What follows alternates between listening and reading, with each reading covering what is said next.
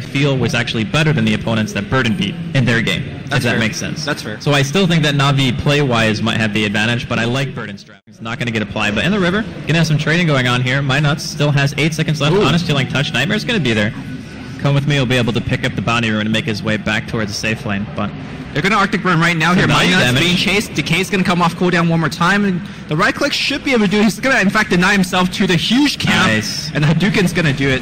Oh, it could be a trade-off. Sing Sing's going to come in. And looks like Winter River's going to drop the first blood. Great deny here by Burden United. And Artstyle, he wants to fight. The steal of the life from Come With Me. And he looks like he's going to be able to run away. Career now joining the fray. Artstyle trying to go for the kill. He will have Decay one more time. But, oh, he will get the kill.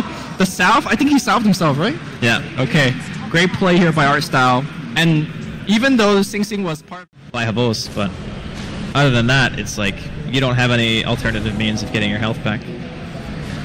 I guess Soul Rip is there, but it's only level one, so it's not really a huge heal one way or another. But they have a lot of way to heal. Oh, what a vacuum here coming out, and looks like Necroman's gonna be in huge trouble. He does do a lot of damage before dying. Come with me, he's gonna get burst down as well. Wall being expended as well. TP should be canceled. Is he gonna actually TP and Sing Sing is gonna come in immediately ultimate. And I think Sing Sing will go down. Does drop the ultimate though. Funnik on the run. Looks like the Ice Blast will clip in the second time. Funnik taking. They'll go back, heal up a little bit. Still very dangerous. Like if you make one wrong move right oh. now, Oh. oh, coil and ulti. on- Well, he's okay. yeah, they they coiled Yeah. him and cursed him, but they didn't actually go for the kill because they realized that nobody can get in that position. in Murder the first United wants to, Tombstone's gonna be there. Dendi blinks back in, but here comes the call down. Hits on all five. Where's that pipe? It's gonna be activated, I think. Was it even activated? It looks like it Yeah, has it been was. canceled immediately. And Havos is on the chase with that surge. There's its Cryptify. The blast gonna be at the ready. Dendi coming on the side. Here comes the orb and a right. They will get the kill. Three kills going the side of Navi, and they're pressing for more. Hindsight's 2020. I think Eul's is kind of like the go-to, right? Is Eul's really that good this game, though? Is my question. I still think somebody wants a book on the set of Navi. I, I think next book for Puck is a fine choice. Yeah, it's it's very very good. Like just being able to go high ground. They're gonna catch out Funnik here. Ice Blast Should gonna follow up the Nightmare into a roar. Yeah. he's he's a gunner. Come with me. We'll have grip in about one second if they want to chase. Our style is going to cut in from the be- behind and come with me. Doesn't have a teleport scroll, so he is uh, stranded and trying to do a little bit of nightmare shenanigans. Won't make it home. I say that he's kind of just making a run for it. Now he's just playing for the rest of his team. Top lane though, look at look at Necroman. He's breaching high ground on the other end.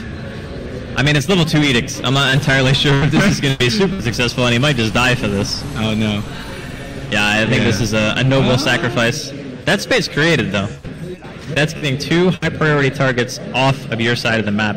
Havos being probably. The- Navi, Arctic Burn, just to give them a little bit more deeper harass. Ice Blast gonna come in. Let's see if they can adopt it. It's a very small Ice Blast pipe. Not gonna get cast just yet. And they're gonna focus on that range Rex, as well as uh, blasting both Rexes at once. Range Rex will go down. Glyph, not up. At least not soon. It's that Pugna value.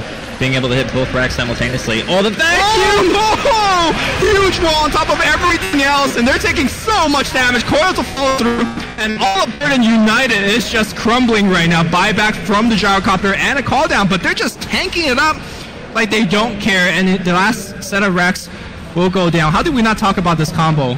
We didn't talk about the combo. Okay, You were talked about- dying yeah, I was di- talking okay. about it. My bad. Yeah, it's okay. Sorry for dying. No, it's okay, dude. That was the dream combo. Very, very nicely executed by both Funnik and SoNNeikO on top of The that The fact one. that neither of them had a blink dagger just makes it more impressive. Yeah, and the, the funny thing about that is when that kind of combo happens, they're going to get a vacuum on two more here, Artstyle.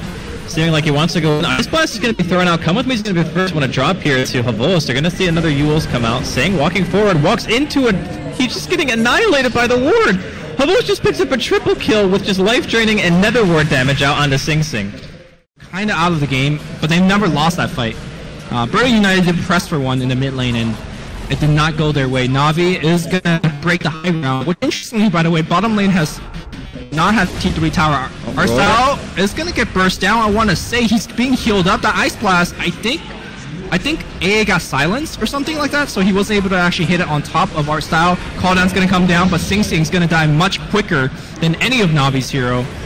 And our style on the front line will finally drop, but they still have to deal with the Tombstone in the front line. Oh, Havos? Necro Terrible 3 there, doing a lot of damage, but Yep. they have to sustain the urn. the heals, and then they're coming in with a blink dagger. Come with me, will drop once again. And they're taking quite a bit of damage here. Yeah, I think they might end up getting cleaned out, or at least definitely agree that both of them are good too. I was just saying that between the, the Nether Ward cooldown and the Nether Blast cooldown, I think that is enough to kind of push it one way. All right, Oh, here. they're gonna go background. Well, they're just running into everything, and ooh, they actually get a lot of damage done by Burden United. I'm not sure where the Crimson Guard or the pipe was. And Leshrac, though, he's taking so much damage, will die to the coil. Dendi blinks in, but he's taking so much damage from Sing Sing's Rocket Barrage. He's still gonna chase. He does have Dagon. So much single target focus.